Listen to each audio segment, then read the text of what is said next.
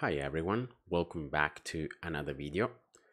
So uh, right now guys, I had some time to prepare and to share with you um, something that I had the, the joy and the, uh, the grace to participate once again this year. It's been a couple years since I've gone to this summer camp um, and I uh, had the ability to volunteer as a team leader, to serve with other volunteers coming from different countries, even from the US um, and uh, with one goal you know not only just to have a community and to serve to pray for one another but also to go there and to serve the community in Torre Pellice in this uh, city where we did the summer camp and especially to serve the kids and their families.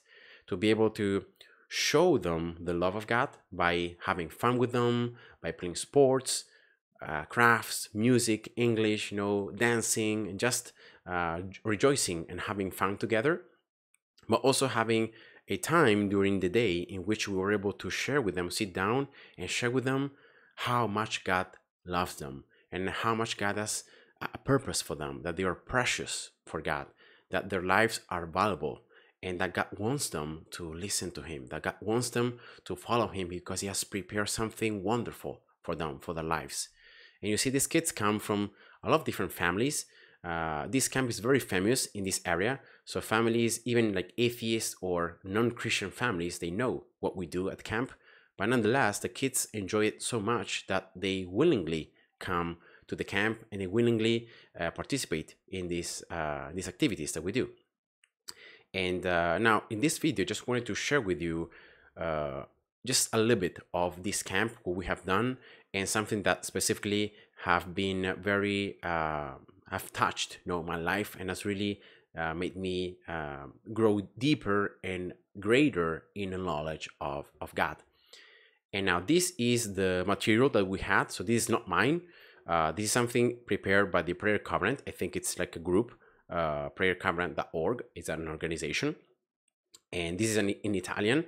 And the theme, theme of the camp was follow the footsteps and we had one bible verse that was the the main uh, verse for the week that the kids had to memorize had to uh, try to remember both in italian but also in english. And that is don't let anyone look down on you because you're young but set an example for the believers in speech in conduct in love in faith and in purity.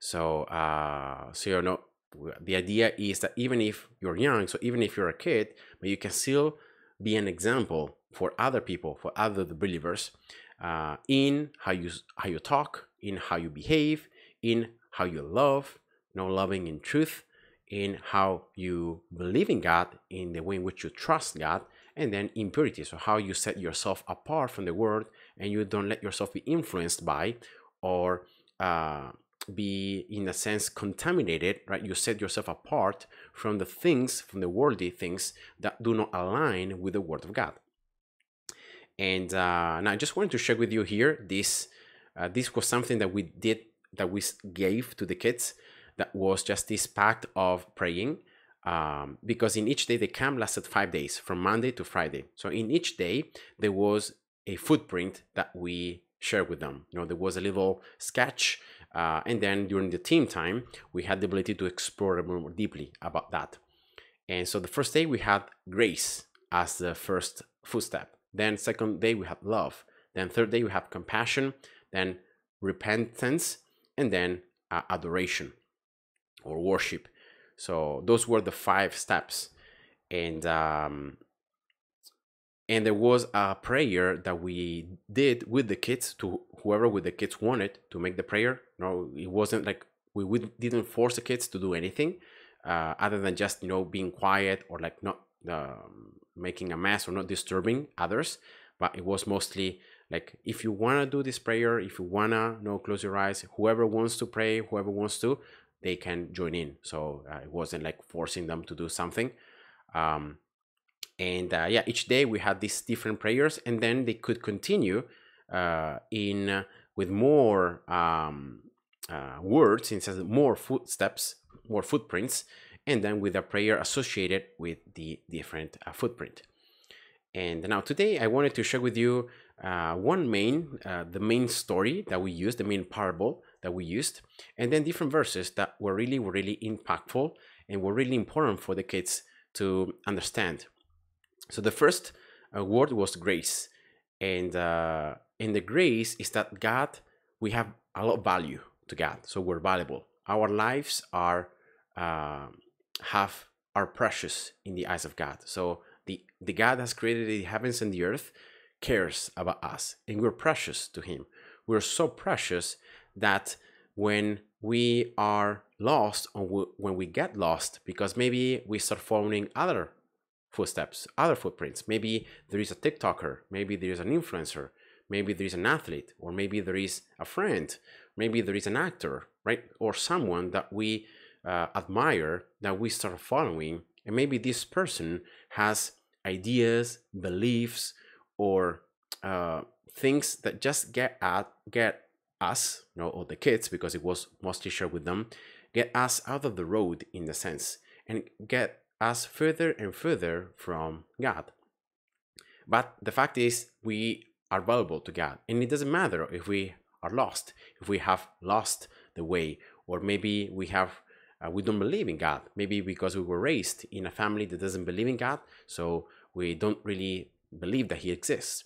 But despite that, God wants to share to make wants you to know that he loves you that he exists that he loves you and that he has something prepared for you has something wonderful for you in store and uh, he wants you to be part of his family he wants you to follow him he wants you to believe in him because that is the way in which you're going to be safe that is the only way in which you're going to be saved from the consequences of being separated from god and there is a rich inheritance and there is a joy and peace and love and uh, every good thing if you come to know God and if you come to believe in Him.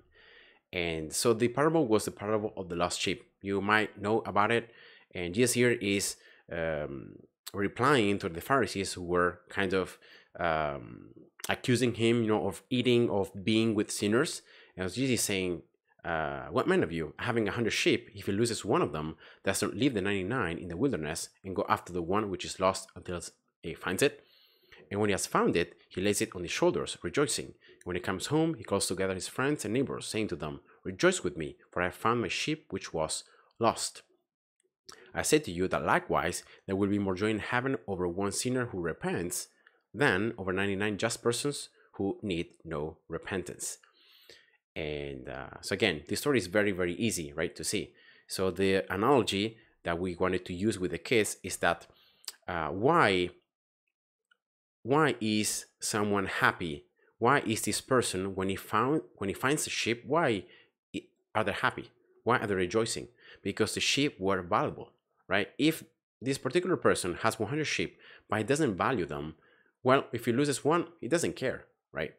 But the fact that he cares for the sheep, they're precious to him. That's why he goes out and he seeks it, right, until he finds it, because they're precious, because they're they have a lot of value for him, and uh, and that's why he's very happy and invites people to rejoice with him because he has found something that was very precious to him.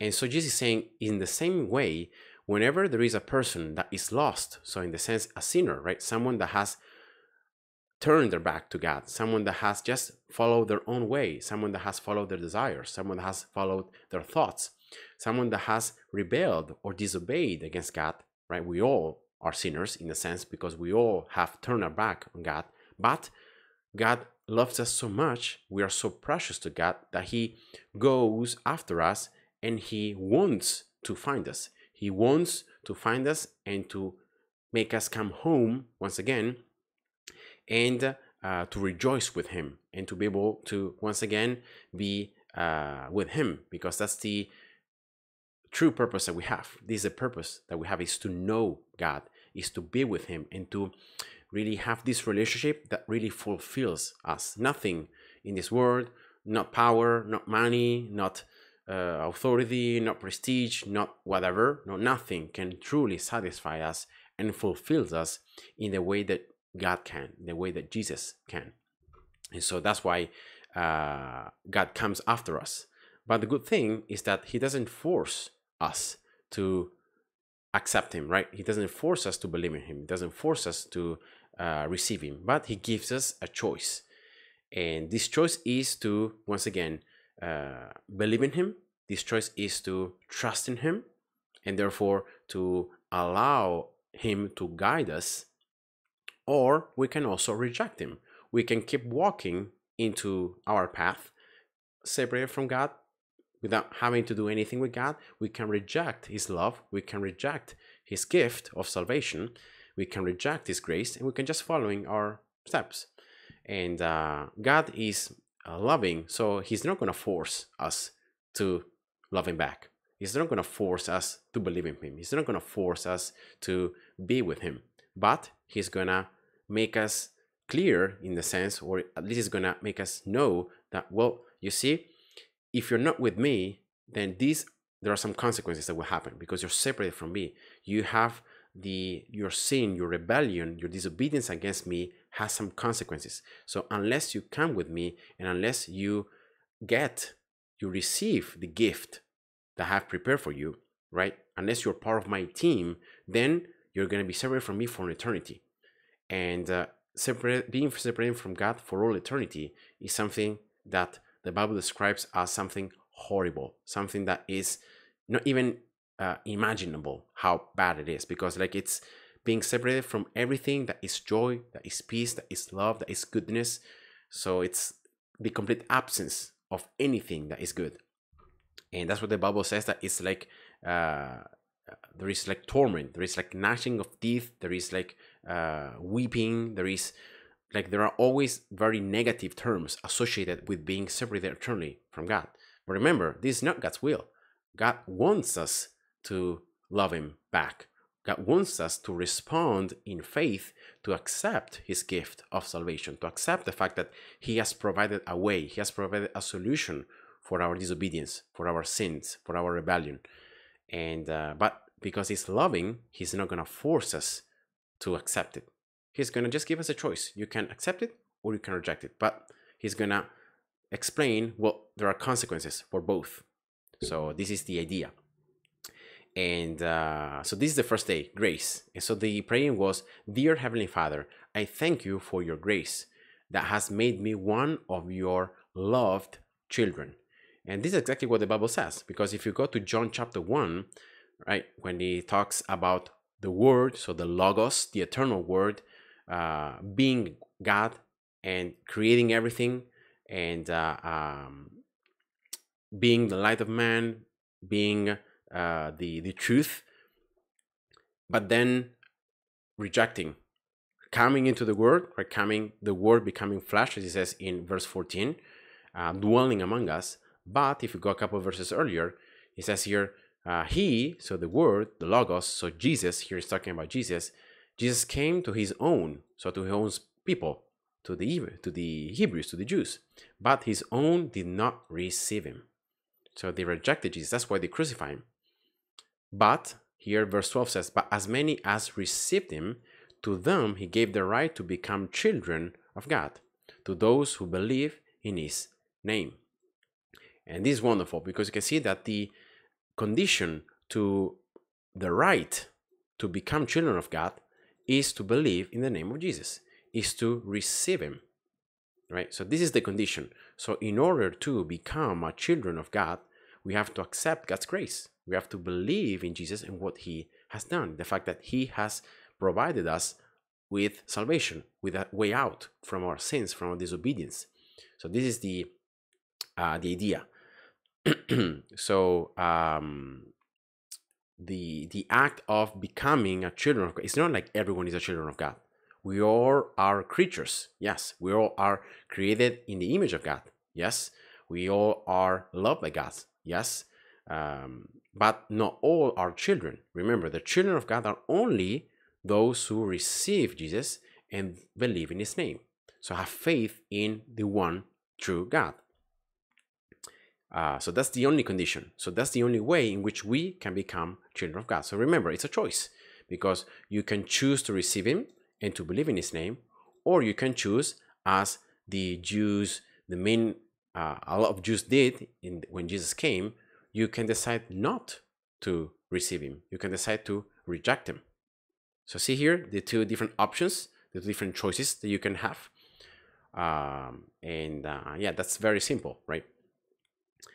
Now, uh, the second day, we had the footprint of love. And, uh, and it, it was very interesting because the, we were talking with the kids about not just saying that, no, I love you, but proving it. So proving with your actions that you love. So if you truly love someone, then you're gonna do things, you're gonna behave in a way that is gonna be loving, that is gonna show that you love them, right? It's not just merely, I love you, but then like you ignore them or uh, you mock them or you insult them or you don't care about them. No, of course not, because that would contradict what you say. So in order to be coherent, if you say I love you, then you prove or you show that you love that particular person by doing things. And that's exactly what Jesus uh, said as well. Jesus said here in John 14 21, He who has my commandments and keeps them, it is he who loves me. And he who loves me will be loved by my Father, and I will love him and manifest myself to him. So here is Jesus is, is saying something very simple if you truly love me, there is another one here. It says, This is my commandment, that you love one another as I have loved you. So if you truly love Jesus, if you truly have received him, and if you truly want to follow him as his his footsteps, right, in a sense, then how can you show to God, to Jesus that you love him? Very simply, by following his commandments and by keeping them. That's it. It's very simple, right? And that's exactly what we all do. When we have a friend that we love and he says to us something, he gives us advice, we're going to listen to him, right? We're going to uh, pay attention to what he says. We're to um, uh, we're to give importance to what he says, right? Of course, human beings can fail. The good thing about Jesus is that he doesn't fail because he's God. So his commandments are perfect. He's he's always faithful. He's never to betray us. Like even our closest friends could betray us, but Jesus will never betray us. He's faithful even when we are not faithful, but he stays faithful. That's what the Bible says. And that's the wonderful thing about Jesus that we can completely 100% trust him and he will never betray us. Um, and Jesus is, is saying something simple. If you truly love me, then you're going to do what I say. There is another verse. I don't have it right here, but there's another verse that says, "If you truly love me, you're gonna do my commandments. You're gonna do what I what I say you to do, not because you're obligated to do them, not because you're forced to do them, not because you are afraid what's gonna happen if you don't do them, but because you love me. Because you love me, and you know me, then you will know that what I say to you is truth. That what I'm saying to you is the best for you, even if you might not fully understand it, but it's the best for you. So that's why you're gonna do what I command you. You're going to do what I say because you understand the goodness and the truth that there is in it. And uh, and this is very very important. We try we really emphasize with the kids a lot of this uh, the importance you know of this. So not just saying okay I love Jesus or I love God, but then we do whatever we want, right? Or we go against what He commanded, what He said. If we truly love God, if we truly want to follow Him, then uh, the we wanna obey what he said. We wanna follow what he said.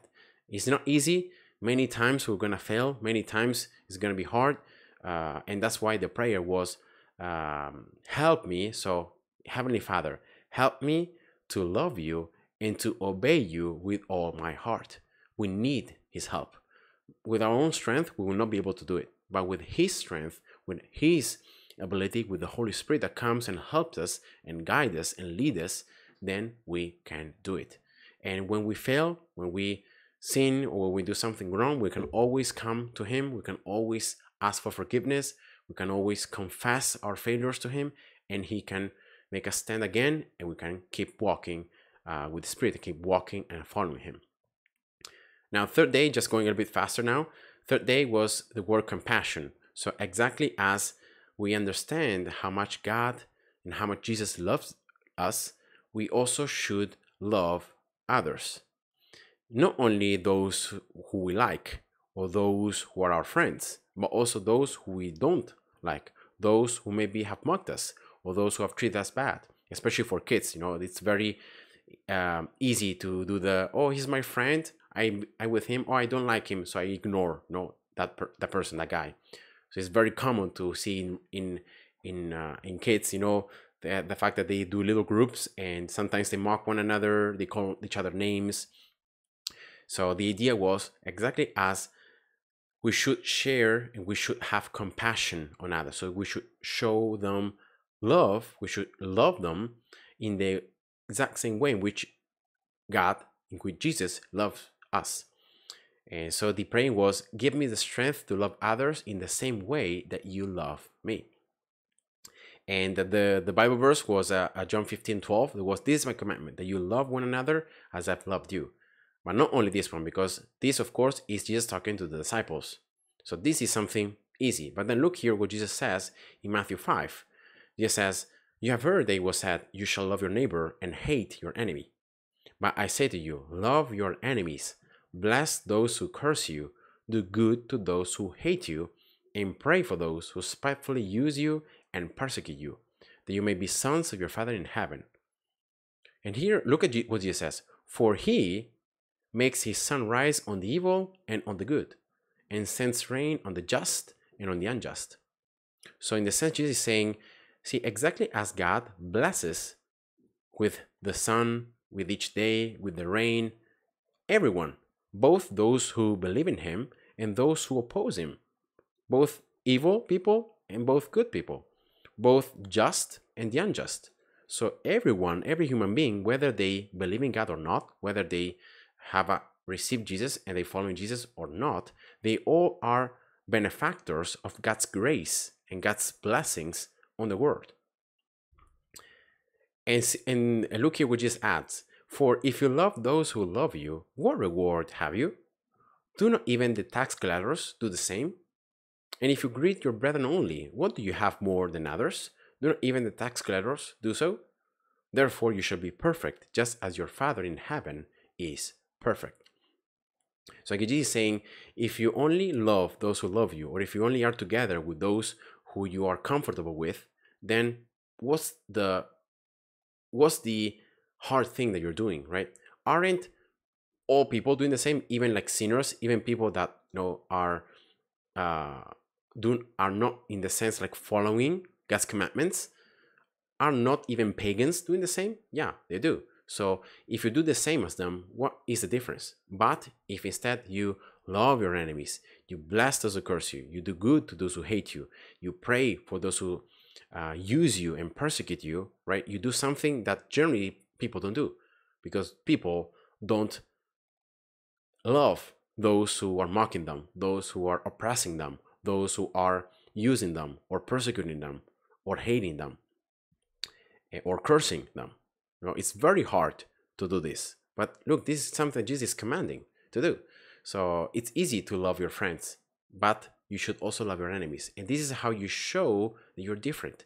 This is how you show, and in a sense, you are sons of your Father in heaven, because exactly as He loves everyone and He shares His grace and His blessings on everyone, both on the evil and on the good, on the just and on the unjust, exactly you should also do the same. You should love not only you should show your grace and your compassion not only to your friends or to your loved ones or to the people that you like, but also to those who you do not like, those who maybe are hating you or those who are not treating you good. And uh, and that's when you are perfect. Because when you do this, you are doing exactly what God is doing. That God is sharing his blessings and his grace to everyone, even to those who might not deserve it, right? But God is doing it the same because he loves everyone. And he and the Bible says that God desires that all would come to salvation, that all would repent and uh, and be saved and come to the knowledge of truth. That is God, what God desires. And so this is one of the teachings that is very, very um, unique in Christianity. You don't really find this concept very, very uh, common in uh, uh, in any philosophy, in any world religion. Sometimes you have just indifference, right? Okay, if someone is hitting you, someone is confronting you, uh, don't act with violence. So many times is that is the message, you know. You don't love them, you just act, don't react act as they are doing. But the the the word love your enemies is something that is uniquely Christian. Uh, so it's because it's not easy. It's actually counter uh, counter normal because it's not something that you do, generally speaking. So that's the teaching of Jesus. Uh, then the fourth day was repentance. Uh, and again, it means changing mind. So you understand that uh, your desires, your thoughts, or something that you might want to do, or something that the world maybe tells you to do. Yeah, this is good. Come on, do it. Everyone is doing it, right? Why not? Um, but if it doesn't align with God's truth and doesn't align with Jesus' commandments, then that means that it's not good, right? And so repentance means changing mind. You understand, you realize, oh, this is something that is not good, even if everyone else is doing it, but this is not good. This is not making me any good. It's not making my loved ones any good. And this is something that goes against what God has commanded, what God truly wants. And so I leave that aside. So repentance means I understand this is bad. I leave that aside and I change direction. I turn. I change my mind about it. Uh, and again, it's a repentance of heart. So we understand that uh, what we want to do, our desires, our thoughts might not be the in aligned with the word of God. So we repent and we change ways and we follow Him, uh, and we adapt our mind to His truth. We don't adapt the word of God to what we believe or to what we would like to do, but we modify, we re, we renovate our mind according to God's truth. And uh, yeah, I don't have any anniversary, but actually it's Romans 12 two.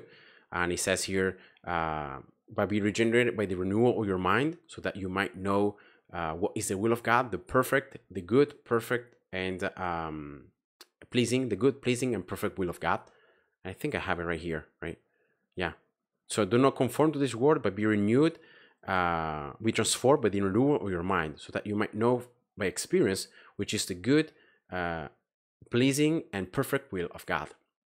So again, re renewing our mind, not conforming us to this world, so to the desires of this world, or to the standards of this world, or to what is normal, no, in this world, but by the truth of God and what God truly says. Because remember, His commandments are true. His commandments are for our good. It's not to uh, make us no not uh, have pleasure or not have uh, not experience good things. No, it's not for that. Those the commandments God has for us is because they're good for us, because they're truly good, because they're gonna save us from bad consequences, from having heart pains, from having um, relational issues. So we should always uh, renew our mind, reject all those things that maybe we did in the past, but that do not align really with what God says, and instead turn and follow God's truth. So that's what we should do. And that is a genuine repentance. Uh, and again, last one is adoration or worship, which is again uh, realizing all this brings us gratitude. So we should be thankful. Thankfulness is something very, very powerful because it makes you, first of all, realize how much God has done for you already, uh, how much God has given you, how much uh, He has loved you, how much He has what what He has done to save you from the consequences of your sins, that is eternal separation from Him. And so this gratitude, this thankfulness brings us to praise God, brings us to adore Him. So brings us to really say, Oh, thank you, Lord. I want to praise you. You are really, you are God. I'm so thankful. You are good. You have done such a wonderful things. And if you read the Psalms, the Psalms are full of these acts of praising God for who He is, for who He has accomplished, for what He has done, for His promises, for His good, for He will, for He has saved us, and uh, for His love, for His faithfulness, for His mercy, for His forgiveness, for His compassion, for His grace uh, for his love and so forth you know that there are like infinite reasons why we should be thankful to god and when we just stop for a moment and we realize how much we have and how much god has blessed us with uh, despite you know the hardships, despite the bad things that may happen into our lives, uh, because these lives are not perfect. Our eternal lives will be, um, but the fact that God has in store something from us that is eternal, and this eternal inheritance is what we should be really focusing at. And this again brings us gratitude, praise, thanksgiving, uh, and this is something that again allows us to be grateful and to be content about what we have, uh, despite you know the fact that Jesus Himself said, you know, in this war you're gonna have troubles, you're gonna have difficulties, uh, but take heart, I have overcome the world. So in Jesus we have victory, uh, because we have eternal assurance of this eternal life we're gonna spend with Him for eternity, when there will be no suffering, no pain, no uh, sin, and that we're gonna have that uh, full life that God always wanted us to have, united with Him and experiencing true love and joy and peace and fullness. Uh, and and that is what we should be you know, focusing on. And that's it. So that was the just a very brief um, summary of this camp with some Bible verses. Uh, and yeah, so I hope you guys enjoyed. Thanks for watching. God bless you. See ya. Bye bye.